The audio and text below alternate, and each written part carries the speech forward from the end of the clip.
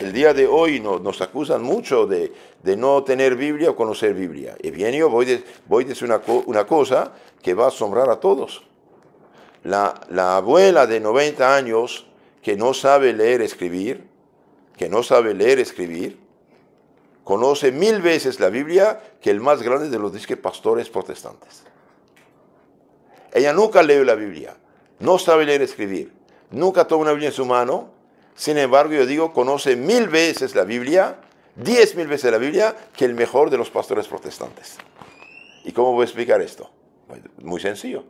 La abuela bien educada, formada, catequizada, cristianizada, sabe que hay un solo Dios, creador del cielo y de la tierra. ¿Qué dice el credo cada vez que reza su rosario? Creo en Dios, Padre Todopoderoso, creador del cielo y tierra. ¿Y qué dice la Biblia? Esto dice la Biblia. En el, principio se creó cielo y tierra. ¿Sí? En principio era el verbo, el verbo estaba con Dios, etc. Esta abuela sabe que hay un solo Dios. Y sabe que Dios es Padre, Hijo y Espíritu Santo. Vayan, prediquen, se me bauticen en nombre del Padre, del Hijo, del Espíritu Santo, capítulo 28, 19 de San Mateo. Sabe que el, hombre creado por Dios cayó en el pecado de Adán y Eva, original, y que Dios prometió un Salvador. Sí, sí, esta, abuela sabe que nunca tocó una Biblia, y bien, sin saber que es Génesis 3.15, sabe que la mujer va a aplastar la cabeza de la serpiente. Tiene 10 imágenes de la Virgen aplastando la cabeza de la serpiente. ¿Y cómo no sabe Biblia? ¿Es Biblia? Sabe que él, este hijo de la mujer anunciado que va a aplastar la cabeza de la serpiente, y viene esta Virgen María, y el hijo es Jesús. Entonces sabe que hay un solo Dios en tres personas, Padre, Hijo, Espíritu Santo. Sabe que el Hijo de Dios se encarnó, se hizo hombre, se llama Jesucristo, que murió en la cruz por nosotros, que realizó las profecías del Antiguo Testamento, que fue clavado en la cruz por nuestros pecados, sabe que Jesús, clavado en la cruz, perdonó a sus enemigos. Padre, perdónales, no saben lo que hacen. Y esta abuela sí sabe de Biblia. Sabe que nuestro Señor dijo, bendecid, no maldecid. Sed santos porque soy santo. Sabe que Jesús dijo, hace falta orar sin cesar. Oren, vigilen para no entrar en tentación. Y esta abuela reza hasta tres veces eh, el Salterio de la Virgen, que es oración bíblica, el Padre Nuestro, la Ave María. Capítulo 11 de San Lucas, el Padre Nuestro. Capítulo 1, 28, 42 San Lucas, el Ave María. Esta abuela que nunca eh, leyó una Biblia, tocó una Biblia, sabe que el Hijo de Dios murió por nuestros pecados y que esta salvación la confió únicamente a su iglesia, la católica. Sabe también que esa salvación no llega así por palabra, sino por hechos por instrumentos, por sacramentos, nuestras almas. Esta abuela sabe que tiene que bautizar a un niño cuanto antes para ser hijo de Dios. Sabe que ese niño creciendo tiene que ser fortalecido por el Espíritu Santo con la confirmación. Sabe que tiene que también recibir el cuerpo de Cristo, porque Cristo dijo, el que no come mi cuerpo, no mi sangre, no tiene la vida eterna. Sabe que esta abuela, cuando hizo un pecado, cuando se manchó el alma, cuando resbaló un pecado, tiene que confesarse humildemente, con fe y confianza, al, ministro del Señor. Quizás ella no conoce el capítulo 20, 23 de San Juan, que dice, recibe el Espíritu Santo a quienes pero los pecados quedan perdonados y a quienes tienen que ser detenidos. Quizás no va a decirte la cifra tal cual y no es, no es de serio que lo diga, pero sabe el contenido. Sabe que cuando hay un pecado, va humildemente con fe confesar, Padre, pequé, esos son mis pecados. Y sabe que el sacerdote es ministro del Señor, recibió el poder del Señor para perdonar los pecados. ¿Qué dijo Cristo el día de la resurrección? Recibió el Espíritu Santo. ¿A quienes pero sus pecados quedan? Perdonados. ¿A quienes tienen quedan? Retenidos. ¿Y qué quieren más? ¿Es el Evangelio? Esta abuela sí cumple la Biblia.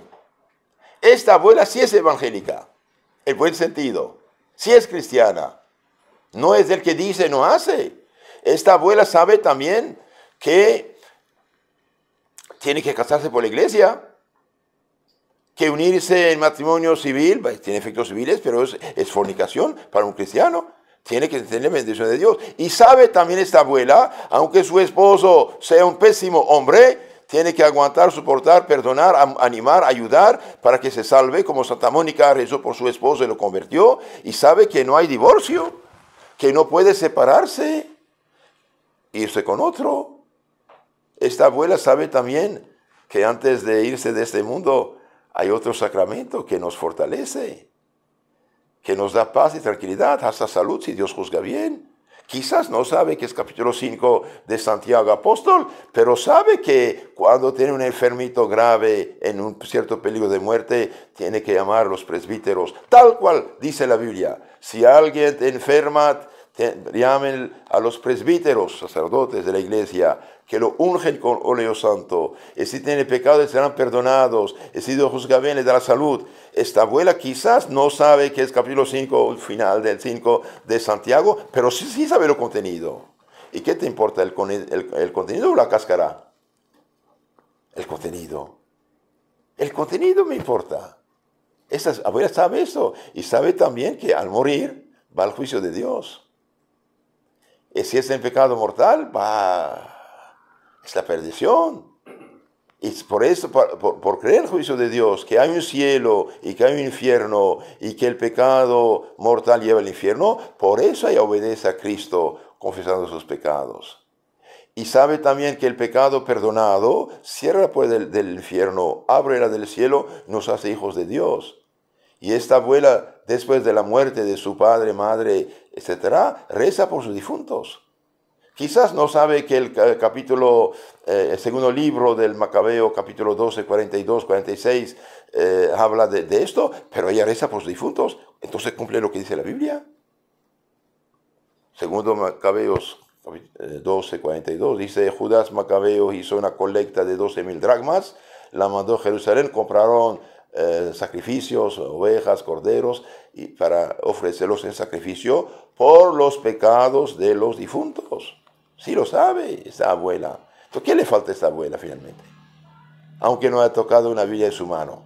Sabe que hay un solo Dios en tres personas. Sabe que el Hijo de Dios se hizo hombre para salvarnos. Sabe que la Madre de Dios, nuestro Señor Jesucristo, Dios encarnado, sufrió más que nadie delante de la cruz de Cristo para nuestra salvación y sabe que María es la nueva Eva. Mujer, aquí tiene a tu hijo. Discípulo, aquí tiene a madre. Otra cosa, esta abuela sabe también que hay una sola iglesia. Entonces ella entiende el Evangelio diez mil veces que el mejor de los pastores. Hay una sola iglesia, no puede haber iglesias. Sabe que Dios dijo, cuídense los falsos profetas. Sabe todas esas cosas. ¿Qué le falta a esta abuela? ¿Y cuál es la iglesia que Cristo ha fundado? La que, la que de siglo en siglo nos transmite la fe cristiana católica, que es una santa católica apostólica, es romana porque San Pedro murió en Roma. Entonces, hoy viene Biblia y Biblia y Biblia, ¿y quién tiene la Biblia? Nada. Cada quien funda un, negocio jugoso, lucroso, y, vive a costa de los tontos y bobos que capturó, cobrándole un diezmo eh, semanal o mensual, y viviendo él como ¿Qué es eso? Los hermanos, cuidado, Dios no se burla. No hay iglesias, hay la iglesia, una santa católica apostólica. Y que dejen de mentir estos pobrecitos que dicen cuando yo era católico era borrachito y drogadicto y mujeriego y no sé qué. Y que diga la verdad. Cuando era un mal católico ignorante, perezoso, flojo, no cumplidor, era vicioso. ¿Cuándo la iglesia católica les dijo que pueden ser viciosos? Nunca. Al contrario, la Iglesia Católica dice, no se engañen, ni los fornicarios, ni los adúlteros, ni los borrachos, ni los homosexuales, ni los ladrones, ni los rapaces, ni los afeminados, etcétera, heredar el reino de Dios. Que quede claro. Otra cosa que la abuela sabe, aunque no sepa que es capítulo 6 de San Juan, sabe que el que no come mi cuerpo y no bebe mi sangre, no tiene la vida eterna. Y esta buena sí se acerca, sí comulga, sí recibe a Cristo para tener la garantía de la vida eterna. Eh, sí, sí, esta abuela sabe mucho, sabe mucho. Entonces, hermanos, cuidado, somos cristianos y la fe cristiana se comunica en la iglesia. ¿Cuál iglesia? La que Cristo fundó. ¿Cuál es la que Cristo fundó? La de dos mil años. ¿Y cuál es la que puede probar que Cristo fundó esta iglesia hace dos mil años? Es la católica. Tiene pruebas. De, de San Pedro al Papa actual tuvimos 266 papas en el año 2021. 266 papas, con nombre, apellido y fecha. Si usted va a San Pedro, perdón, San Pablo, extramuros, una grandísima basílica sobre la tumba de San Pablo, y viene, hay fiestas de papas, eh, ovalos, rodendos, con nombre, apellido y fecha de cada uno. Desde, el papa, desde San Pedro hasta Papa Francisco. Buenos, santos, malos, mediocres, otro asunto. Otro asunto, pero la iglesia es esta. Cuidado. Y esta abuela, ¿qué le falta? Dije, pues se salvará. Y el orgulloso que mutila la Biblia, bien cae mal, bajo maldición de San Pablo. Si alguien nos anuncia un evangelio diferente del que habéis recibido, sea tema no es poco, no es poco. ¿Y San Pablo qué, qué hace echando la cara de los falsos apóstoles?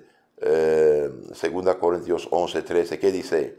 Esos tales son falsos apóstoles, obreros engañosos, que se hacen pasar por apóstoles de Cristo. Y no es maravilla, el mismo Satanás se hace pasar por ángel de luz, también sus ministros.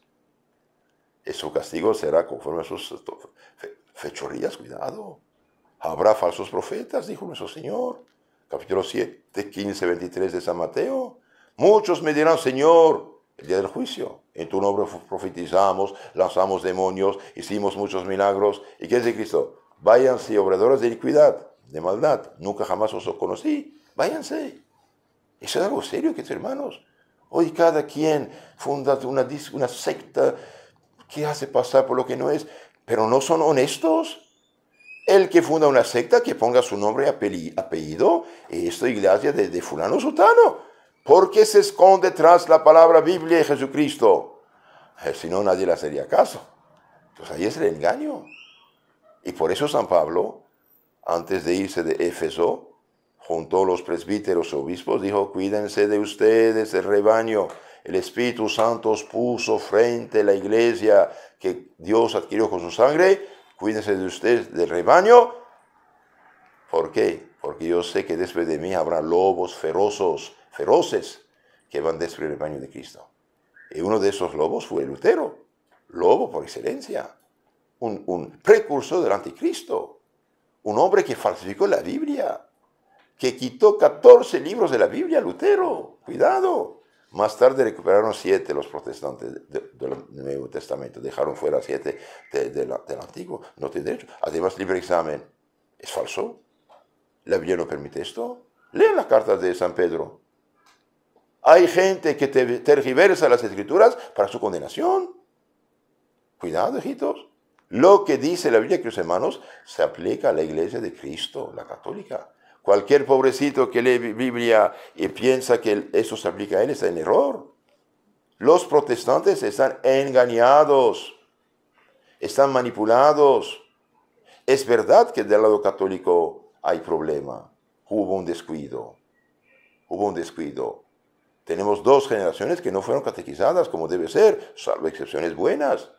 Los católicos hoy no conocen su fe. Llegaron a tal punto que con tal que creen en Dios. Sí, pero espere, Dios tiene sus condiciones también. El que no come mi cuerpo y no ve mi sangre, no tiene la vida eterna. Ah, ¿Es algo serio? Ah, yo lo como. ¿Y cómo te comes? ¿Quién lo consagró? El pastor. Pero el pastor es sacerdote. Si usted tiene el cable eléctrico hasta aquí, corta el cable, añade muchos cables por ahí, ¿habrá luz? No, porque fue cortado el cable. Cuando Lutero fue cortado en la iglesia, siendo simple sacerdote no pudo ser sacerdotes, entonces nombró catequistas de su herejía, llamados pastores. Son falsos pastores, no son sacerdotes. El pastor protestante no tiene ningún poder divino, ni perdonar los pecados, ni dar el Espíritu Santo, ni mucho menos consagrar cuerpo sangre de Cristo, ni ungir los enfermos, ni perdonar los pecados, no tiene nada, ni poner manos, no tiene nada. Es un pobre laico. Además, maestro de herejía. Buen hombre, buen hombre, buen hombre, pero que obedece a Cristo. Cristo es muy claro. ¿Dejó una autoridad humana, sí o no? Sí la dejó. ¿Dónde está en la Biblia? Ellos que les gusta tanto dónde, ¿no? Y bien la abuelita que nunca tocó Biblia sabe, sin decir el capítulo, pero sabe que ella debe respetar a los sacerdotes, porque Cristo dijo, que no se escucha, me escucha, que no se rechaza, me rechaza. Eh, San Lucas 10, 16. ¿Por qué no escuchan? Los apóstoles antes de dormir dejaron lugartenientes. Sí dejaron lugartenientes, claro que sí. Es fácil Biblia, Biblia. Veamos lo que dice la Biblia. Oh Timoteo, guarde el depósito de la fe. Aguarda el depósito, de la, ¿a ti confiado en la fe? Primera Timoteo 6:20. Oh Timoteo, lo que oíste de mí, transmite a los hombres fieles, capaces de, de enseñar a, los demás. Segunda Timoteo 2.2, ¿es algo serio? ¿Qué dice San Pablo? Acabo de decirlo, a los obispos eh, presbíteros de Éfeso. El Espíritu Santo os puso obispos frente a la iglesia que Dios adquirió con su sangre. Cuídense de ustedes, rebaño. Y otro capítulo muy interesante, eh, 15-24 de Hechos de los Apóstoles, en el concilio de Jerusalén.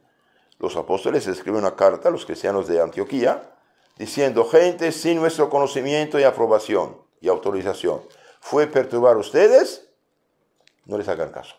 Esto es lo que tienen que hacer, les dan órdenes ahí. A ustedes de los sofocados, etcétera, etcétera.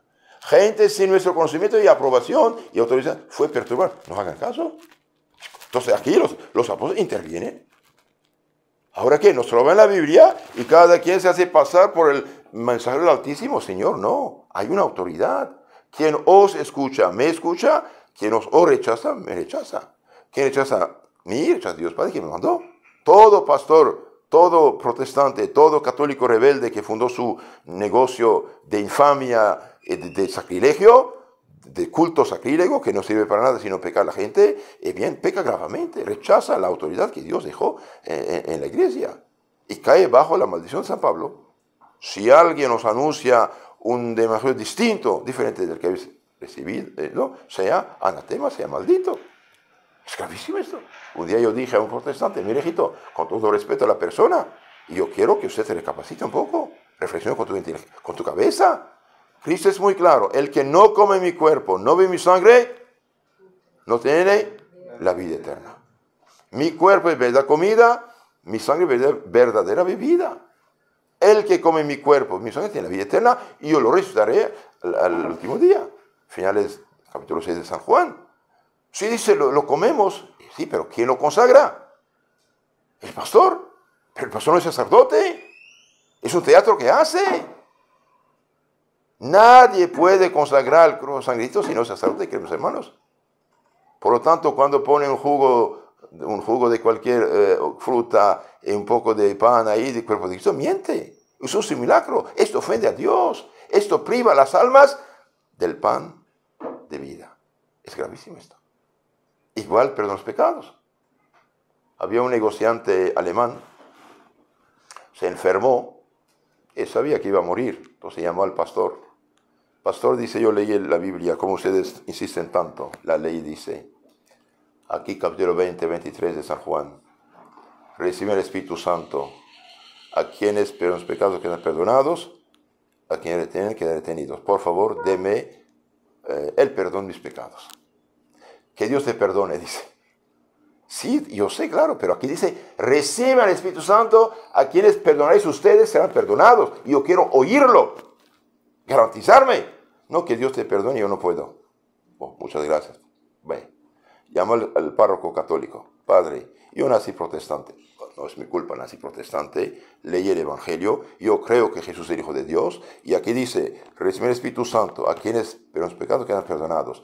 ¿Puedes perdonar mis pecados? Claro que puedo. ¿Y qué debo hacer?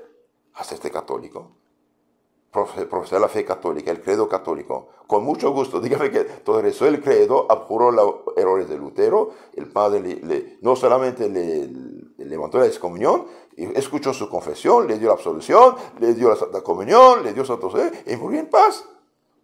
No tienen derecho de jugar con la salvación de las almas. Y del lado católico decadente actual, ignorante, decadente de una, de una, teología falsificada, los sacerdotes no tienen derecho a decir, no hay problema, pueden salvarse donde están. Es mentira. No tienen los medios de salvación.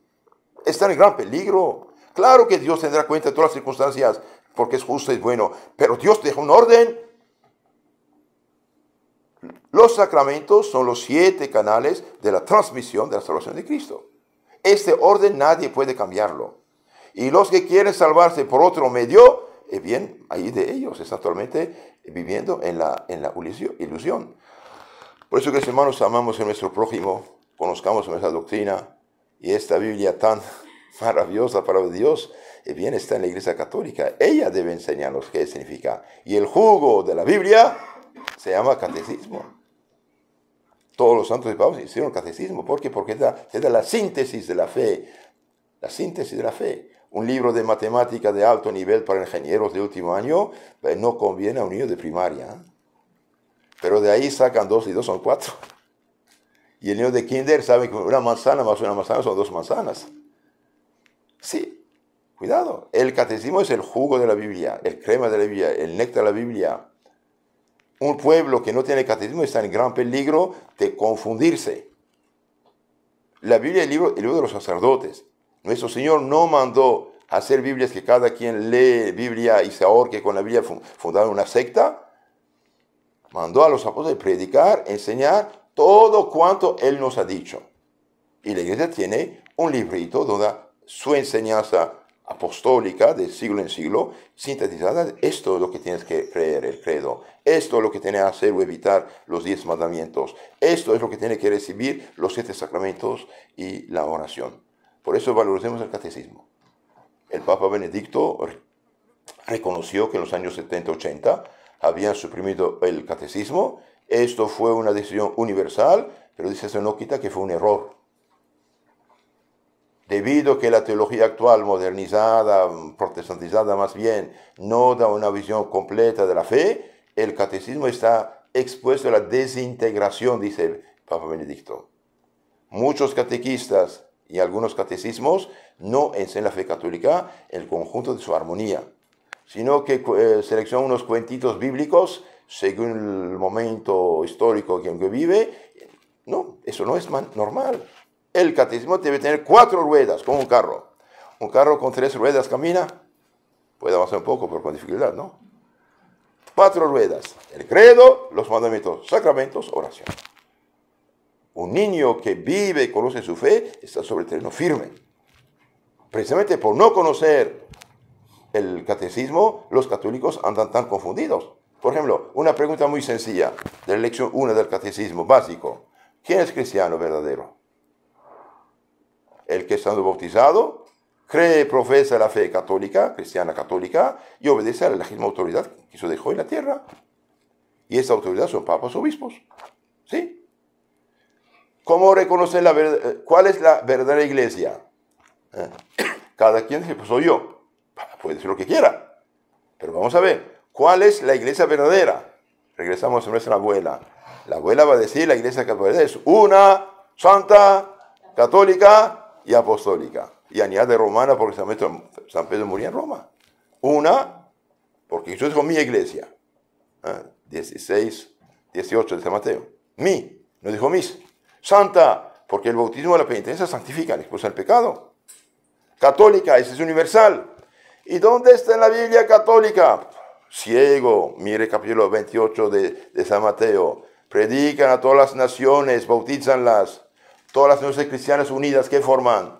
Una iglesia cristiana universal. Tiene el libro muda en la, en la, mano, pero no, no entiendes. El conjunto de las comunidades cristianas se llama iglesia universal en griego católica. Una santa católica. ¿Y apostólica? ¿Por qué apostólica? Porque hay la sucesión apostólica. De San Pedro a la fecha, hay papas y obispos sucesores uno de otro. Una santa católica, apostólica y romana, porque San Pedro está en Roma. Es la cosa. Un cristiano que conoce su catecismo, y bien dije, sabe más que el más elocuente de los pastores, pero los pastores, ¿no? Dice que pastores. No, no, no, eso no vale. San Jerónimo dijo una, comparación muy, muy interesante. Dice, los herejes son como los perros, muerden, muerden el hueso, pero nunca llegan a la médula. Nunca llegan a la médula. Y todo pastor protestante en favor de ellos y honor a ellos, honesto, piadoso, humilde de corazón, realmente que ama a Dios, y bien, aunque haya nacido en error, que quiere la verdad, leyendo los padres de la iglesia se hace católico. Todo pastor honesto que no busca el interés mugroso del dinero y del poder, que ama a Dios y quiere la verdad de Dios, dice una iglesia, no puede haber dos. ¿Qué eran los padres de iglesia? Como decía un ex pastor amigo mío, ahora católico, decía yo leí los padres de iglesia buscando doctrina protestante y no, no encontré nada de esto. Pero como no conocía la católica, no sabía qué era. Cuando leyó el catecismo de la iglesia católica, se dio cuenta que los padres de iglesia eran católicos. Claro que sí. Y última cosa, quiero decirles que la iglesia católica es Jesucristo que la fundó. No es Constantino como pretenden unos ignorantes que intoxican a la gente con mentira. Constantino dejó de perseguir la iglesia. Dio libertad a la iglesia en 200, 313, eh, perdón, eh, desde Milán. Desde el año 107 sabemos que la iglesia se, llamó católica. San, eh, San, Ignacio de Antioquía. En sus eh, cartas oficios pienso, dice iglesia católica, iglesia universal. En el año 156, San Policarpo, discípulo de San Juan, apóstol, fue martirizado. Las comunidades vecinas preguntaron qué había pasado. Escriben la carta, la iglesia de Dios que está en Éfeso, saluda a la iglesia de Dios que está en tal, tal lugar y a todas las que hacen parte de la una santa y católica. Paz y bendición. En el año 258, un mártir en tribunal romano le preguntan, ¿cómo te llamas, fulano? ¿Eres cristiano? Sí. ¿De cuál iglesia? De la católica, pues Cristo no fundó ninguna otra. Entonces, que más cuidado, amemos la iglesia católica. Es verdad que muchos católicos son ignorantes actualmente y que muchos católicos no viven la fe católica. Es verdad, pero eso no cambia nada. La iglesia es santa, puede tener eh, hijos pecadores, ministros pecadores. Esto no es, no es el ideal, claro que no, pero eso no cambia las cosas. Uno puede ser borracho y ser dueño de la finca. Es de él. Uno puede ser malo y ser hijo heredero de la eh, finalmente un católico, pobre pecador católico, es mejor todavía que el mejor de los protestantes. ¿Por qué? Porque al menos él hace pecado de animal, de debilidad humana, pero no tiene el orgullo de falsificar la palabra de Dios haciendo una falsa iglesia. El católico pecador que no cumple es como un carro con llantas ponchadas. Un carro con llantas ponchadas todavía está en la autopista. Cambian su llanta y adelante avanza. Mientras que el católico se hizo protestante u otra religión está en el barranco a 200 metros abajo e hizo glug, glug, glug, ya no puede nada. Esa es la cosa. Entonces, en, resumen, ¿la abuela sabe o no sabe más que el pastor? Claro que sabe. Sabe, claro que sabe. ¿Y esto de dónde en la Biblia? ¿Dónde en la Biblia? La Biblia dice que todo no está escrito. Si hubiéramos escrito todo lo que hizo, dijo Cristo, los libros no cabrían en el mundo. Entonces déjanos en paz, Señor. ¿Qué le pasa? Aunque uno no tenga su cédula, su credencial, existe. Supongamos, no sé, se, quemó, eh, se quemó la, casa, se quemó la escritura, pero el terreno es tuyo. De todo modo, pues, ¿dónde y dónde y dónde? Pues, claro que debemos conocer nuestra doctrina para dar respuesta, ayudar a esta gente, pero no tenemos, no tenemos que ser paralizados del, del dónde. Yo soy hijo de mi padre. Aunque no tenga testigos, yo hijo, punto, ya. Entonces, una santa católica y apostólica. Recemos por toda esta gente, dije. Recemos por los buenos para que mejoren, los malos para que se conviertan, los pecadores para que abran los ojos. Y rezamos por todo el universo para que conozca a su Dios y Salvador y se, se, se, cree en Jesucristo nuestro Señor y se salve, porque la voluntad de Dios es que todos los hombres se salven. Por eso les suplico vivamos cristianamente. Vivamos, el cristiano debe vivir un estado de gracia habitual y no pecado mortal y gracia y, y cada rato no. Decir no al pecado. Vivamos el Evangelio. Hoy los no católicos necesitan eh, ejemplos de vida cristiana auténtica en los, en los católicos. Tratemos de hacer este, este trabajo y Dios no nos abandonará. Magnifica, anima mia in eternity.